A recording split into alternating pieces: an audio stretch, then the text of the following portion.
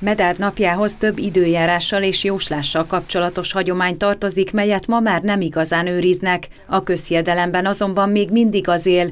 Ha május 8-án esik az eső, akkor 40 napig csapadékos lesz az idő. Ha nem érkezik eső, akkor pedig szárasság várható. Medár püspök története annak idején Európa szerte elterjedt, hiszen később különböző időjárási regulák is fűződtek hozzá. Medár püspök nagyon szerette volna, hogyha egy mulatozó társaság elhallgat, csendbe marad, ezért megkérte őket. Utána ezt nem teljesítették, ő úgy döntött, hogy imádkozni fog, és esőt kért, és ez az eső, ez 40 napig esett.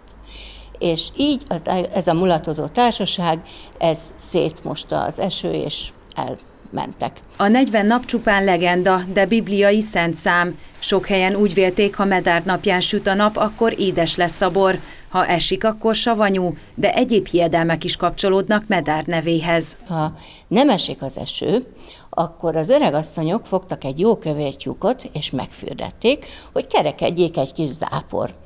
Medárnapkor nem szabad a folyókba fürdeni, ugyanis ilyenkor a folyók azok sokszor elnyelik a benne úszkáló embereket, tehát ilyenkor nem szabad fürdeni.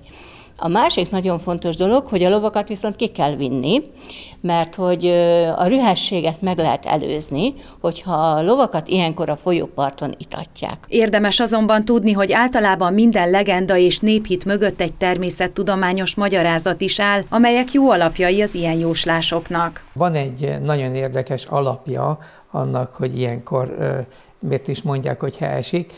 Eddigre, júniusra ezen az égövön már, már annyira meleg szokott lenni, hogy a meleg levegő felmegy, és a helyére nedves levegő érkezik. És ha már ilyenkor megérkezik a nedves levegő, akkor hosszabb ideig fog esni. Tehát van egy úgy mondjam, meteorológiai alapja is. Szent Medárt katolikus püspök a szüreti munkák és a gabonaratás védőszentje, így idén már leginkább abban reménykednek a gazdák is, hogy alább hagy az esőzés, ha pedig mégis esni fog, akkor nem zúdul le annyi, hogy a termésben kárt tegyen.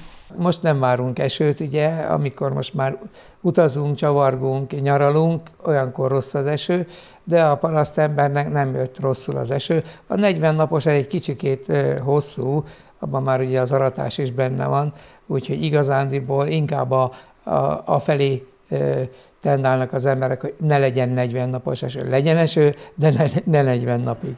A jelenlegi állás szerint csütörtökön Medár napján feltétlen tartsunk magunknál esernyőt vagy esőkabátot, ugyanis folytatódik a füllet idő, de sokfelé alakulhat ki zápor, zivatar, és helyenként felhőszakadásra, jégesőre is lehet számítani.